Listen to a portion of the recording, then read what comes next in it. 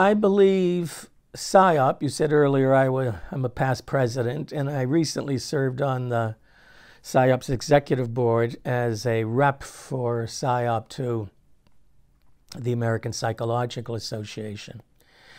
And SIOP is wrestling with this question. SIOP's taking this very seriously. And one way, one answer to this question that I think SIOP is doing so well is we have two tracks at our annual conference. So, one for the academics. Well, we've been doing that since the 1940s. However, we now have a track for practitioners. And a signal that's being sent to the membership is that both are equally important. As I said earlier, the findings are reciprocal from one side to the other side.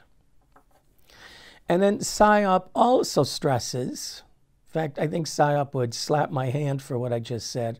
Rather than saying the two sides, is the integration of the two sides with the word scientist hyphen practitioner. And as you know, sometimes I say the other way around. I like practitioner hyphen scientist.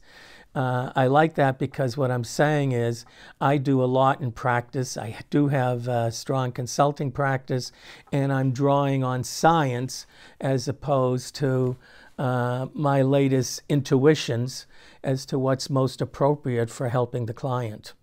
So I think that's one way. I think, in addition, having uh, well, we're conducting this at the University of Toronto. Now, if you really want to embarrass me, ask this question How many practitioners have my faculty invited to give a colloquium? Now, I've been here 29 years. I think I can remember two, but don't ask me their names. I don't recall. Well, that sends a very loud signal to our doctoral students that the only thing that counts is academe. I say that's nonsense. So I think academics need to do more to bring in practitioners to speak and then grill them with questions as to what practitioners are being confronted by with their clients, and then having discussion groups as to what we know. You know, theory has arguably benefited science.